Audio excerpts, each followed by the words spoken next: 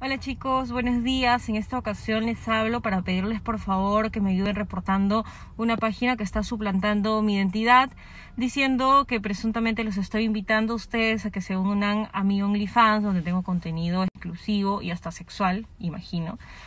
Cosa totalmente falsa. Eh, ya era algo de esperarse, en realidad se estaban demorando, porque algunas colegas ya se los han hecho.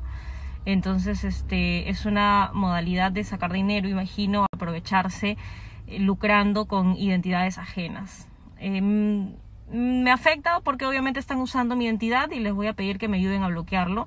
Sin embargo, las personas que me conocen saben que yo jamás crearía este tipo de páginas. Así que nada, les pido, les pido su apoyo para poder reportar y que puedan bajar la página, aunque dudo que lo hagan. Estas páginas que han suplantado a mis colegas siguen activas y no entiendo por qué Instagram no las bloquea.